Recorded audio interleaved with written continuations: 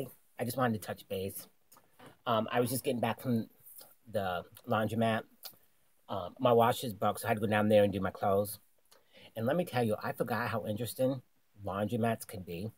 I mean, I was in there, right? I mean, this old hot mess with all these ugly people. So, anyways, I was doing my clothes, and just as I pulled out my pink thong, do you know what I saw?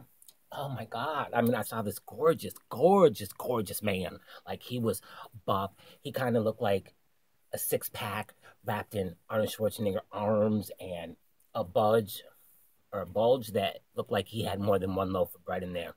Mm-hmm. I'm just saying. I really, I, I, I notice, girl. I notice these things. Tammy notices that. I really do.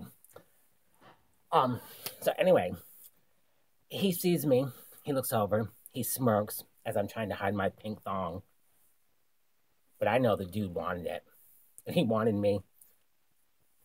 So I'm not really a skank.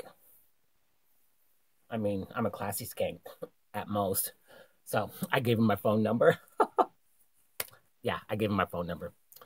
The bitches don't need to know anything about that. So you just keep your mouth shut. Mind your own business, okay? All right. Well, I gotta go get ready for my date. I'm not sure where he's bringing me. Um, I'm kind of hoping back to his place.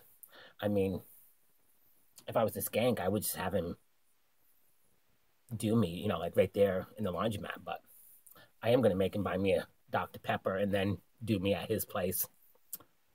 I guess I am skank. Oh well. Bye.